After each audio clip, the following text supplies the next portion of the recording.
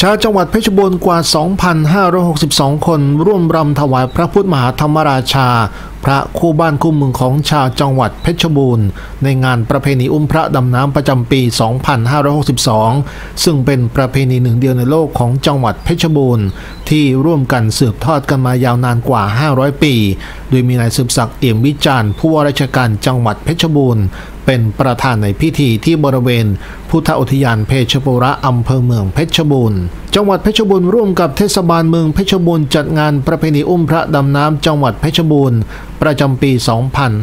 2562 ซึ่งปีนี้จัดขึ้นระหว่างวันที่ 26 กันยายน ถึง 1 ตุลาคม เพื่อเป็นการส่งเสริมการท่องเที่ยวของจังหวัดเพชรบูรณ์ โดยมีการจัดรำถวายพระพุทธมหาธรรมราชา พระคู่บ้านคู่เมืองของชาวจังหวัดเพชรบูรณ์ และได้เปิดรับสมัครผู้ที่จะร่วมรำถวาย ด้วยศรัทธาที่มีต่อพระพุทธมหาธรรมราชาทำให้มีผู้สมัครเข้ามาเป็นจำนวนมากทุกเพศทุกวัย ทั่วทั้งจังหวัดไม่เว้นแม้แต่ชาวต่างชาติ นอกจากนี้ยังได้รับเกียรติจากนางจรัตนภาเอี่ยมวิจารณ์นายกเหล่ากาชาติจังหวัดเพชรบูรณ์หัวหน้าส่วนราชการ ร่วมรำถวาย ซึ่งบรรยากาศของการรำนั้นทุกคนล้วนมีใบหน้าที่ยิ้มแย้ม และอิ่มเอิบไปด้วยความสุข ที่ได้รำถวายพระพุทธมหาธรรมราชาสำหรับความหมายและสีของชุดที่ใช้ร่วมรำถวายพระพุทธมหาธรรมราชา ได้แก่สบายและผ้าคาดเอวเป็นสีเขียวใบไม้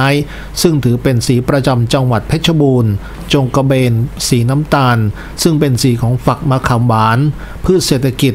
พืชสัญลักษณ์ของจังหวัดเพชรบูรณ์ เสื้อสีขาวเป็นสีแห่งความบริสุทธิ์ แสดงถึงความศรัทธาที่มีต่อพระพุทธศาสนา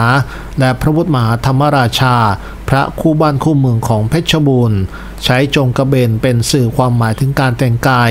ในสมัยอยุธยา ซึ่งเป็นช่วงเวลาของการก่อกำเนิดประเพณีอุ้มพระดำน้ำสำหรับประเพณีอุ้มพระดำน้ำนั้นเป็นประเพณีที่มีเพียงแห่งเดียวในประเทศไทย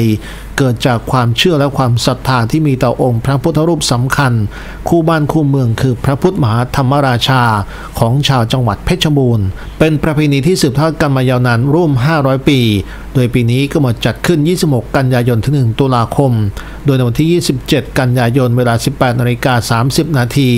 ที่บริเวณหน้าหอโบราณคดีเพชรบูรณ์อินทราชัย จะเป็นพิธีเปิดงานประเพณีอุ้มพระดำน้ำ โดยมีนายอิทธิพลคนปลื้ม รัฐมนตรีว่าการกระทรวงวัฒนธรรมเป็นประธานในพิธี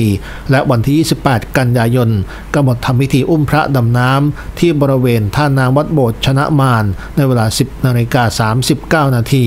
โดยมีนายสันติพร้อมพัฒน์รัฐมนตรีช่วยว่าการกระทรวงการคลังเป็นประธานในพิธี